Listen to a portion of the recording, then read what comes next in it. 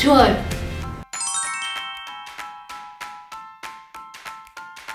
좀 더 역사에 관심을 가지게 되었고 최근에 선은여분 녀석들이 나와서 좀 더 문화유산에 흥미를 가지게 됐어요.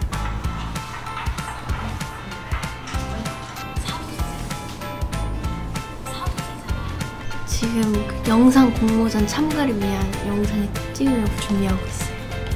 어떤 영상 찍으려고 준비하고 있어요?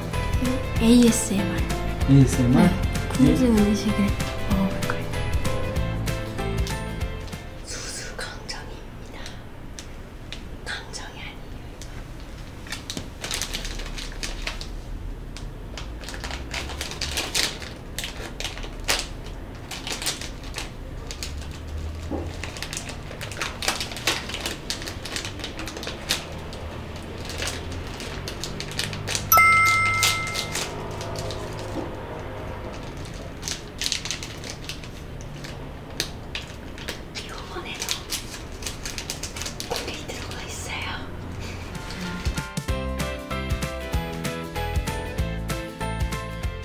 아직도 접수 안 했어?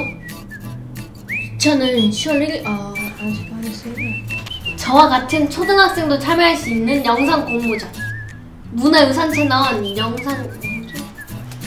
저와 같은 치- 아, 다시 아 초등학생부터 영상 거주자까지 많이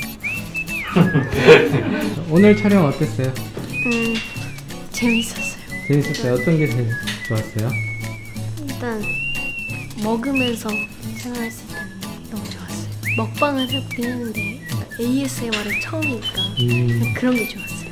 실제 뭐 ASMR 해보고 싶은 그런 네, 너- 원래 해보고 어? 싶었는데? 네, 오늘 해보게 돼서 너무 좋았어요.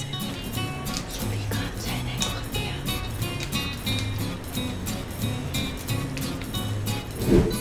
(9월 1일부터 9월 30일까지가 1차 접수 기간인데 1차 접수 기간에 참여하면은 혜택이 많대요.